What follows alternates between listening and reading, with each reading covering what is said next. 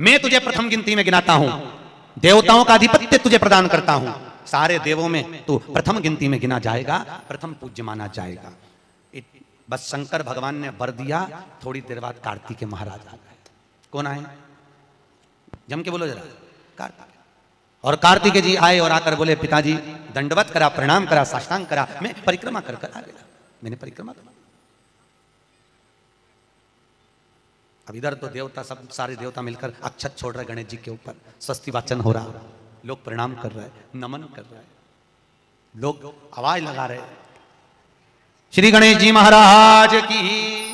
अब सारी दुनिया में आवाज़ लग रही गणेश जी। तो कार्तिक ने पूछा, माँ माँ, ये गणेश जी का जयघोष क्यों हो रहा है? गणेश जी के जयकारे क्यों हो रहा है? गणेश जी के लिए इतना जयघोष। तो माँ, माता पार्वती ने भगवान शंकर के शब्दों को, कार्तिक को सुनाया। कार्तिक रो पड़े। माँ मैं परिक्रमा कर कर आया। गणेश जी ने केवल आपकी परिक्रमा लगा ली। आपने उसको प्रथम गिनती में मान लिया। माँ, उसने बुद्धि का परिचय दिया और मैंने कर्म का परिचय दिया। बुद्धि का परिचय, कर्म का परिचय।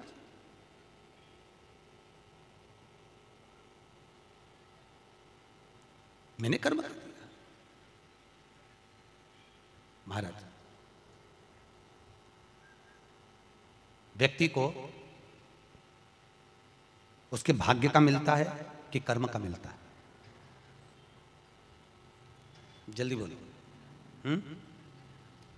कर्म का। आपका क्या विचार है? ये लोग तो बहुत दूर बैठे हैं, इसलिए इनसे पूछ ही नहीं दिया व्यक्ति को उसके भाग्य का मिलता है कि कर्म का मिलता है? पुरुषों से भी पूछने का मन है, मेरा भाऊ, बोलो तो सही। कि उसके कर्म का मिलेगा कि भाग्य का मिलेगा? है? दोनों का मिलेगा। मेरी माताएँ जीजियाँ बिल्कुल सही कह रही है, दोनों का ही चाहिए। काय काय का भाग्य का और कर्म का। ये दो हैं। बैंक में एक लॉकर होता है। उस लॉकर में लोग अपनी रकम रखते हैं। बोलो तो सही है, गलत? रखते हैं कि नहीं रखते हैं? अपनी चेन, अंगूठी, मोबाइल, पर्स, सब लॉकर के अंदर रखते हैं। बैंक में लॉकर होता है, लॉकर में रखने के बाद में लॉकर की दो चाबी होती है। कितनी चाबी लॉकर की? दो, एक चाबी तुम्हारे पास, एक चाबी मैनेजर के पास। तुम तुम्हारी चाबी कितनी भी लगा लो, जब तक मैनेजर की चाबी नहीं लगेगी, तब तक वो लॉकर अरे बोलो जम के नहीं खुलेगी। और बैंक का मैनेजर कितनी भी चाबी लगा ले, लाकर खुलेगा क्या? नहीं, तुम्हारी चाबी लगना ज़रूरी है। उसी तरह तुम्हारी चाबी है, कर्म की चाबी, तुम कितनी भी घुमा लो, पर वो ताला नहीं खुल सकता जब तक मैनेजर मेरा शंकर अपनी भाग्य की चाबी घुमा कर नहीं जाए।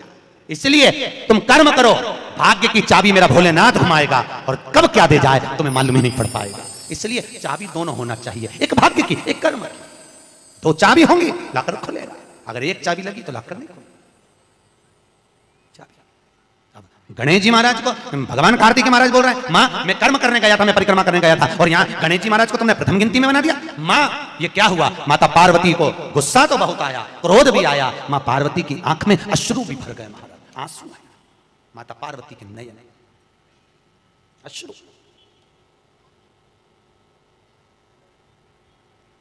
माँ खड़ी हो गई। माता पार्वती ने आज खड़े होकर भगवान भोलेनाथ जी से निवेदन करा, आपने अपनी ज़िंदगी की ये गलती कर दी। क्या गलती? शंकर भगवान पूछ रहे कौन सी गलती? तुमने गणेश जी को प्रथम गिनती में बना दिया, कार्तिक भी तो गया था। अगर कुछ थोड़ा सा आशीर्वाद रखना था तो कार्तिक के लिए रखना था? पर तुमने केवल गणेश को प्रथम गिनती में बनाया है, ये तुम्हारी गलती है। तो गणेश जी ने परिक्रमा भी तो करी है। माता पार्वती खड़े होकर शंकर भगवान से बोली, भोलेनाथ, मैंने अपनी ज़िंदगी में आपसे कभी कुछ नहीं मांगा, पर आज तुम्हारी ये पार्वती तुमसे एक वर चाहती है। शंकर भगवान ने कहा, मांग, तुझे क्या चाहिए? पार्वती कहती है, आज के बाद तुम्हारी कभी पूर्ण परिक्रमा ना लगे। आज के बाद तुम्हारी कभी पूर्ण प्रदीक्षिणा ना हो। पूर्ण नहीं। कौन ने मांगा? जम के बोलो, पार्वती। शंकर की पूर्ण प्रदीक्षिणा माता पार्वती ने कह दिया, भोलेनाथ, आज के बाद ना क्योंकि तुम भोले हो, तुम्हारे आसपास कोई घूम लेता है, तुम उसको कुछ भी निकाल कर दे देते हो। होता है, दो बहुएँ होती हैं। एक बहू रहती है पूना में। बोलो, कहाँ? मुंबई या पूना और दूसरी बहू तुम्हारे साथ रहती है।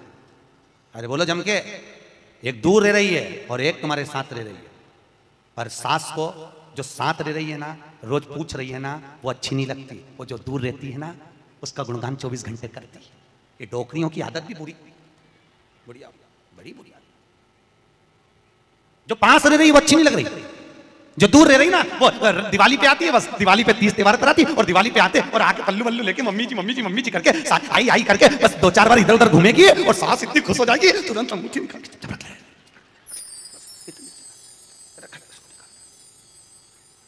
जो तुम्हारे पास में है, वो पूरी लग रही है, वो चाय दे रही है, दूध दे रही है, बस बोलने में कभी कभी बोल देती है, अब बहुएँ हैं बेचारी, हो जाता है एक सास बहू से कहती है, मैं सुबह पाँच बजे उठती हूँ, तू चार बजे उठा कर अब वो झगड़ा करते करते हमारे पास आ गए। और हमारे पास आके बोली, गुरुजी ये मेरी सास मुझे परेशान करे। मैंने बोला, तेरी सास को क्या बोल रही है? तो क्या मैं पाँच बजे उठूं तो बहू चार बजे उठना चाहिए। तो मैंने कहा, अच्छी बात बोली, कोई दिक्कत वाली बात नहीं है। एक काम कर, बहू की उम्र है बीस साल, तेरी उम्र है सत्तर साल, तू बीस साल की बन जा, मैं भी इसको जगाना चालू कर देता हूँ।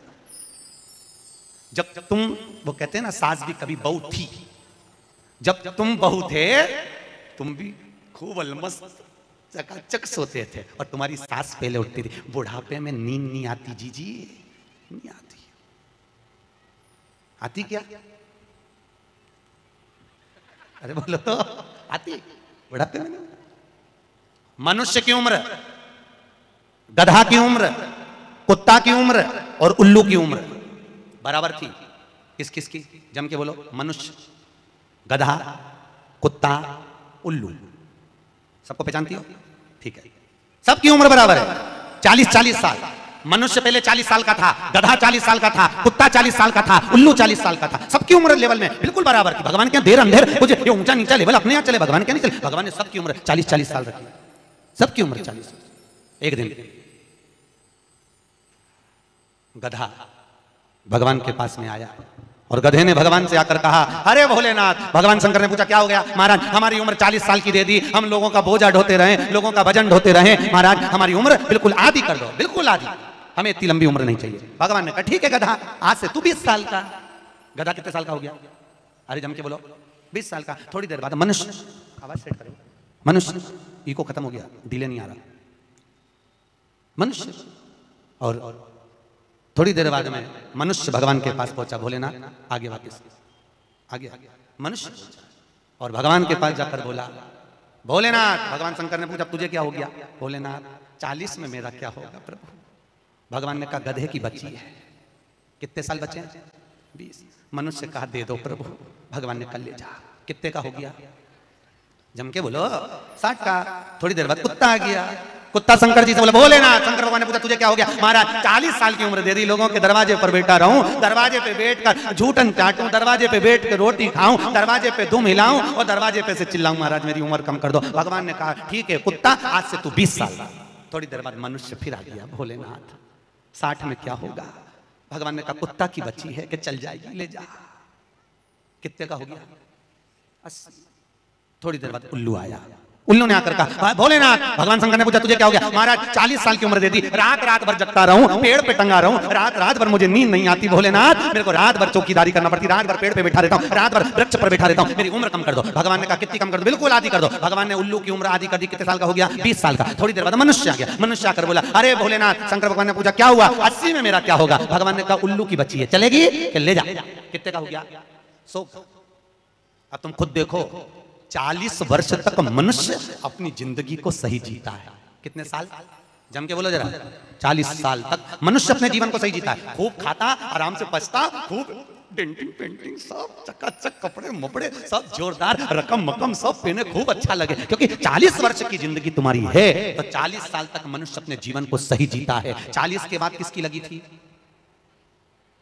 जम के बोलो। गधे की।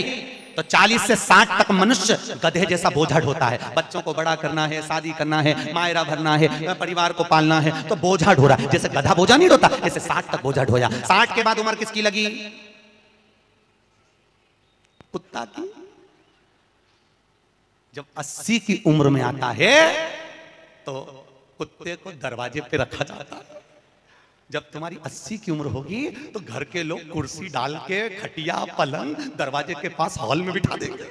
वहीं बैठे और रोटी भी दरवाजे के पास, चाय भी दरवाजे के पास, क्योंकि कुत्ते को अंदर परमिशन नहीं है।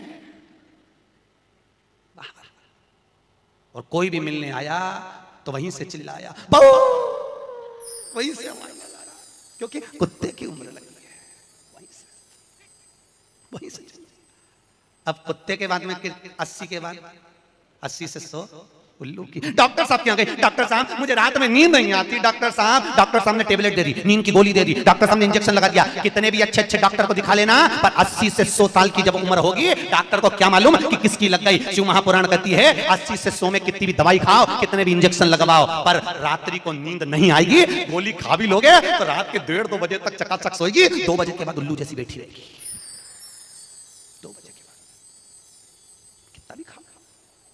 कितनी भी दवाई खाओ, कितने भी अच्छे डॉक्टर को दिखाओ, पर 80 से 100 में आधी रात को जागे। बहू के मम्मी सो नहीं रही, आई सोई नहीं। आई के मारे नींद ही नहीं आई अब इसके कौन समझाए उल्लू की लगी? कौन समझाए इसके? अस्सी से सौ। अपन तो सब कथा छोड़ो, अपन अपनी कथा पे आप चलो। तो जो बहुत दूर रहती है ना, वो अच्छी लगती है। जो पास में रह रही दूर के ढोल सुहावन। ठीक नहीं है श्रेष्ठ नहीं। भागवत ज्ञान गंगा यज्ञ समिति वालों काय श्रेणी की कथा दस पंद्रह मिनट ज़्यादा हो जाए तो कोई दिक्कत तो ना है है? हाँ। क्या विचार है तुम्हारा? नहीं, अगर खाना हो तो मैं तुम अच्छा तुम कैसे कर दूँ? मारे ये मिर्ची का ठेसा तैयार अपने कहीं चावल। आज तो खूब चकनिकता से अगला प्रश्न है तो ये प्रदीक्षिणा का प्रश्न। अगला प्रश्न। शिवलिंग की पूजा करने के लिए शिवलिंग को घर में कहाँ रखें? जहाँ तुम्हारी मर्ज़ी हो।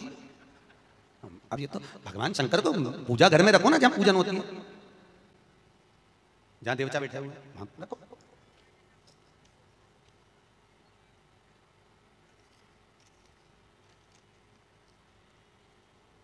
पीपल के पेड़ को सोमवती अमावस्या के दिन 108 फेरी क्यों लगाई जाती है? बहुत बढ़िया। हमने तो नहीं की कि लगाओ। अब तुम्हारा मन है 108 लगाने का। याद रखना, पीपल के वृक्ष की परिक्रमा करने से वैभव बढ़ता है।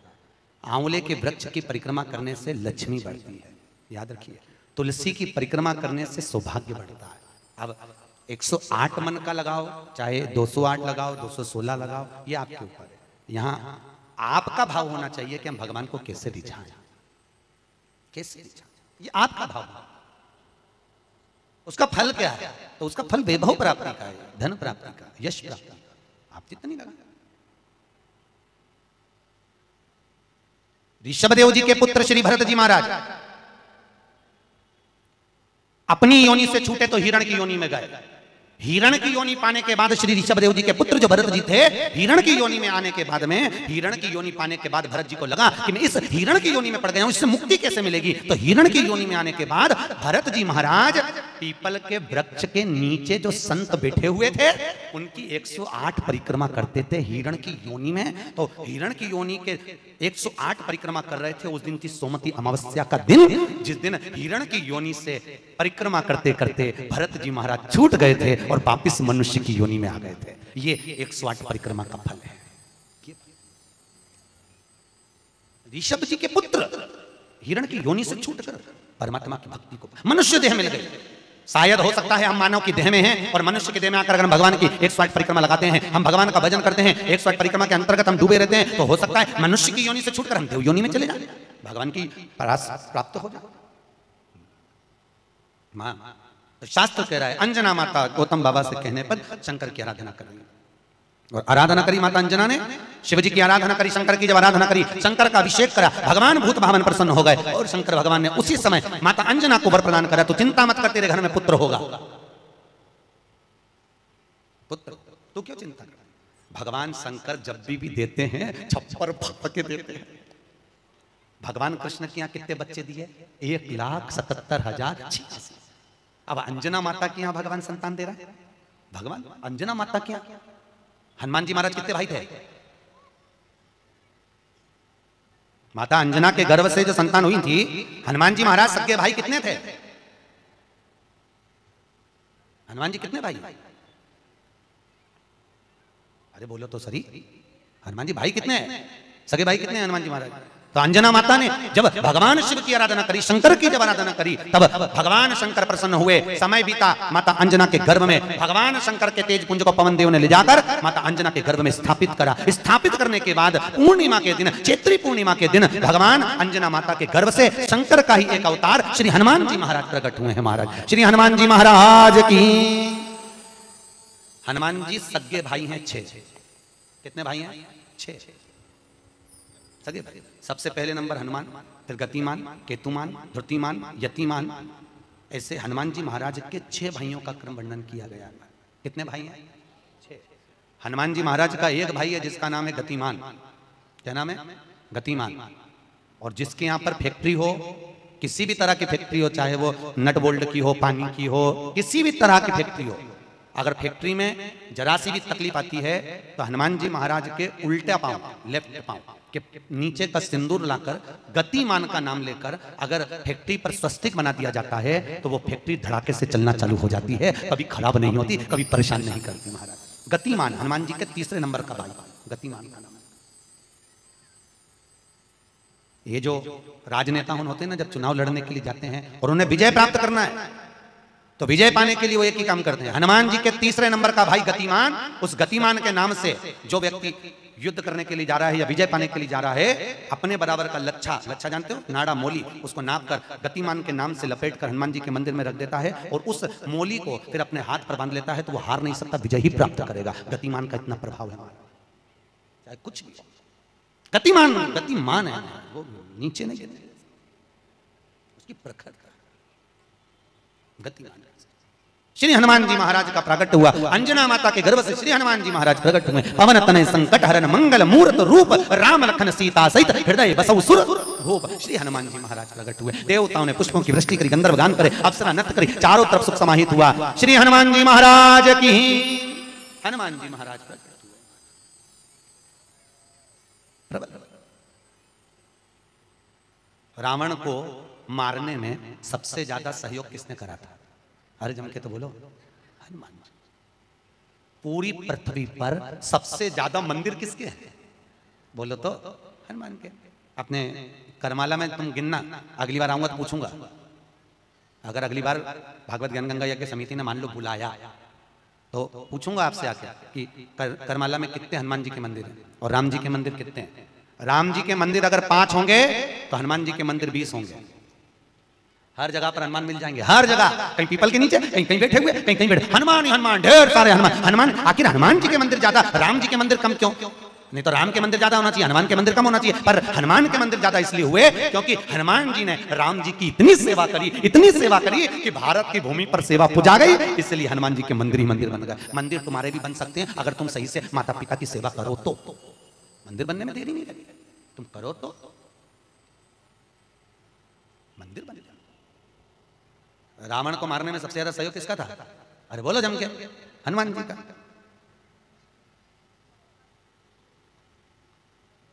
राम जी ने रावण की नाभि में बाण मारा था कि नहीं मारा था? अरे बोलो जम के। क्या था नाभि में? अमृत। तो जब रावण की नाभि में राम जी महाराज बाण मर रहे हैं तो रावण क्यों नहीं मर रहा? मर जा रावण। क्योंकि नाभि में अमृत है, वो तो सूख चुका है, मरे ना। फिर मरता क्यों नहीं है रावण? क्यों नहीं मरा रावण? राम जी से। दस मुख हो गए, फिर भी नहीं मर पाया, फिर तैयार।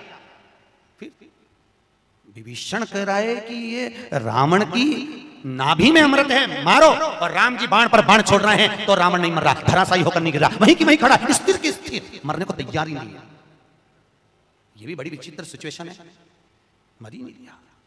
चिंता लग गई हनुमान जी को, युद्ध देखते देखते हनुमान जी महाराज, समझ गए, ज़रूर कोई बात है जिससे ये रावण नहीं मर गया। भगवान ने इतने बाण छोड़ दिया नाभि में विभीषण करे नाभि में मारो नाभि में भगवान मार रहे तो भी नहीं मर रहा। हनुमान जी महाराज ने देखा, युद्ध अपनी जगह चलता रहेगा, हनुमान जी गए, लंका के अंदर पहुँच गए। एक पंडित जी का रूप रखा, संत का रूप रखा, गुरु का रूप रखा और ब्राह्मण का रूप रखकर हनुमान जी अंदर आए लंका में और लंका में सब सब सब लोगों के हाथ देखने लगे। हाथ दिखाओ, अब सही सही बताया हनुमान तो हनुमान, सबका भाग्य बता रहे इतने में मंदोदरी के पास खबर पहुँच गई। कि लंका में कोई ऐसा विद्वान पंडित आया है जिसको हाथ दिखा तो भाग्य बताता है। मंदोदरी निकल कर बाहर आ गई। मंदोदरी ने आकर कहा, ब्राह्मण देवता, मेरा हाथ देखकर बताओ कि मेरा भाग्य क्या कहता है? इतने में हनुमान जी ब्राह्मण के रूप में थे। हनुमान जी ने कहा, पंडित जी बोले, ब्राह्मण के रूप में हनुमान जी बोले, तेरे पति के ऊपर काल मंडरा रहा है और तेरा पति मरने को तत्पर खड़ा है। पर सुन ए स्त्री तेरा पति इतनी जल्दी नहीं मर सकता। क्योंकि तेरे पति के पास ज़रूर कोई राज की बात है। इतने में मंदोदरी बोली पंडित जी आपने बिल्कुल सही कहा। एक ऐसी राज की बात है मेरा पति मर ही नहीं सकता। हनुमान जी तुरंत बोले वो राज की बात या तो मैं जानता हूँ या तू जानती है। इतने में मंदोदरी बोली पंडित जी बिल्कुल सही बात है। जब मेरे पति रावण ने तप करा था ब्रह्मा जी से वर मांगा था तो ब्रह्मा जी ने कहा मांग तुझे क्या चाहिए? तो रावण ने कहा कि मैं अमर हो जाऊँ। तो ब्रह्मा जी ने कहा ऐसा नहीं हो सकता। तो रावण ने कहा मेरी नाभि में अमृत दे दो। रावण को अमृत दे दिया। तब रावण ने कहा इतने में संतुष्टि नहीं होगी एक बार और दीजिए। मुझे एक ऐसा बाण दो जिस बाण के लगने से नाभि में अमृत सूखे और मैं मरूं। मंदोदरी ने कहा, मेरा पति जब तप कर कर आया था, उसको ब्रह्मा जी ने बाण दिया था, वो बाण मेरे पति ने मुझे लाकर दिया था। उस बाण को मैंने जहाँ मैं शयन कक्ष में सोती हूँ, उस कमरे में मैंने दीवार के अंदर एक खंबे में चुनवा दिया है, सीमेंट से पक्का करवा दिया। वो किसी को मिलेगा ही नहीं। हनुमान जी अपने असली स्वरूप में आए दीवार तोड़ी और बाण निकाला, राम जी को दिया। राम जी से अब मारो। और जो बाण लगा, तब जाकर वो रावण मरा। तब जाकर मरा। नहीं तो राम जी बाण मारते रहते, रावण चकाचक खड़ा लगा। हंसता तो राम और हनुमान।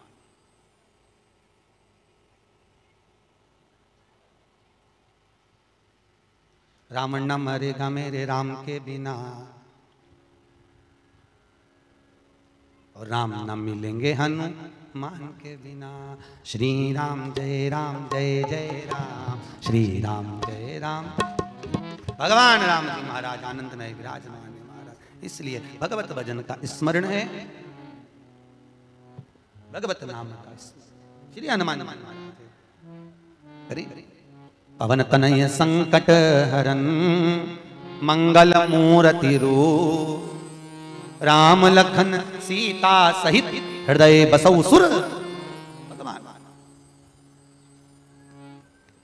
श्री हनुमान जी महाराज, सहज नहीं हनुमान जी महाराज आनंद में स्थापित हुए, विराजमान हुए। कुछ समय बीतता है महाराज, और उस समय की अनुकूलता में भगवान जी चंचुला देवी को भगवान शंकर के नंदन वन भ्रमण की चर्चा करते हैं। भगवान शंकर माता पार्वती के साथ में काशी घूमने के लिए गए। माता पार्वती अकेली बैठी हुई थी। शंकर भगवान को जाना पड़ा। कोई काम से पार्वती जी बोली, मैं अकेली क्या करूँगी भोलेनाथ? शंकर भगवान ने कहा, पार्वती, तेरे एकांत को मिटाने के लिए तू इस वृक्ष से सामने अशोक का वृक्ष था। इस वृक्ष से जो मांगेगी वो तुझे मिल जाएगा। पार्वती जी ने अपने शोक को दूर करने के लिए, एकांत को दूर करने के लिए अशोक के वृक्ष से एक अशोक सुंदरी को प्रकट करा। शंकर भगवान की छठे नंबर की लड़की है अशोक सुंदरी। थोड़ा आवाज़ बड़ा रिटर्न किया अशोक सुंदरी। भगवान शंकर के छठे नंबर की लड़की, अशोक सुंदरी। अशोक सुंदरी प्रकट। भगवान शिव ने आनंद स्थापित कराया, समय आया। आगे जो वर्णन आया, भगवान भूत, बामन भूतेश्वर, भगवान शिव, बारह ज्योतिर्लिंग की कथा का स्मरण कराते हैं। बारह ज्योतिर्लिंग की कथा यहाँ पर प्रारंभ होती है बारह। और बारह ज्योतिर्लिंग की कथा का स्मरण कराया।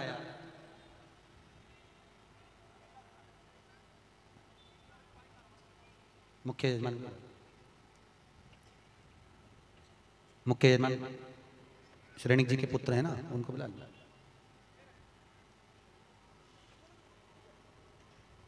दस मिनट श्रेणी जी, जो मुख्य यजमान रोज पूजन में बैठे हैं, आपके पुत्र और बहू, उनको पाँच मिनट, दस मिनट के लिए बुला दो। जोड़े से बिठा दो उनको सामने।